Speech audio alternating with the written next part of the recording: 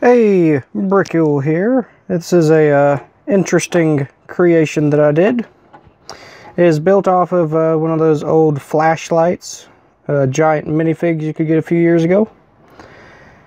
And uh, I had always wanted to kind of uh, include it in a build.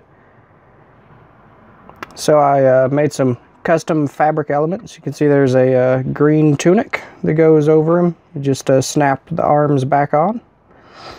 There is a leather and fur cape. I don't know where he would have got such a big fur. The you know the leather could probably have come from a dragon. Maybe it was a fluffy dragon. And then uh, there's a shoulder bag. You can see made out of a, a net some chain, shields as uh, buckles, and it's holding a cow, which he probably stole from the local village. I imagine that's his uh, snack for later. There's also some uh, large backpacks, but uh, for him they're just little pouches. And then he has uh,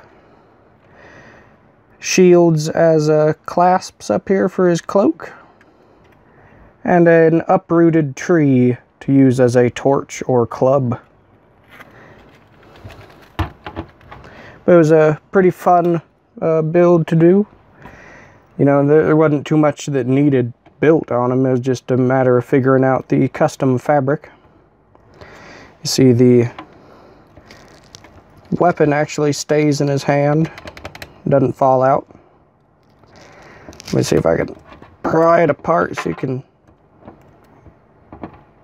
see, okay, the Technic pieces in that are really stuck, so I'll leave it there. yeah, got roots on the bottom of the tree. He's posable. See the uh, the flashlight is in the bottom of his feet. The button for these was on the chest. There's no batteries in it at the moment. But he's pretty cool. Giant for uh, Lego castle things. And I might uh, try to build him a hair piece or a helmet later. And it would be nice if he had a different expression on his face. But he's really cool and people really liked seeing him at the uh, Brickworld show in the castle layout. So thanks for watching. Uh, stay tuned for more videos. There's always more on the way and constantly uh, building new stuff to record.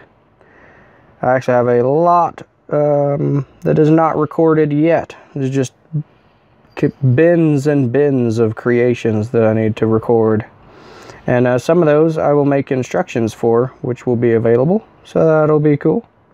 So stay tuned. Follow uh, Twitter, Instagram, and Facebook. And I will see you later in the next video.